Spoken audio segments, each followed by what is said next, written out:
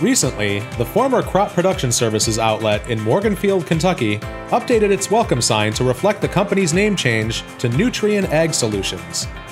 Despite this alteration, however, Nutrien Morganfield continues to strive for environmental excellence. Of course, adds Trent Onan, manager, how the Morganfield community views Nutrien Ag Solutions remains very important for the outlet on account of its two immediate neighbors on US Highway 60 the Methodist Hospital Union County, and the Union County High School.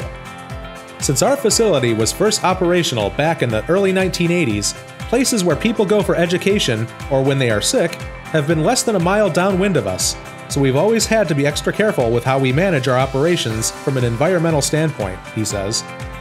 According to Onan, this is one of the major reasons Nutrien Morganfield has enhanced the security requirements for visitors at its facility taken extra precautions with its anhydrous ammonia on site storage tanks, and added a cover off the main building to make certain that dry fertilizer mixing takes place under roof. The outlet has always upgraded its handling of another item valued by the community water.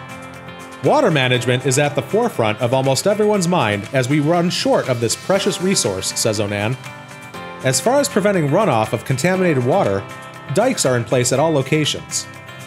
All dikes are inspected monthly for cracks and breaks.